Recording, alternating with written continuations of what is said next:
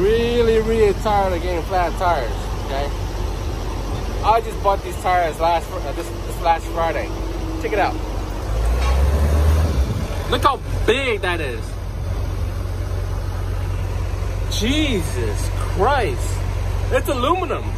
It's not no nail, it's something else. I tried to pull out with some plenty pliers, couldn't get it off. Well, here's some pictures of it.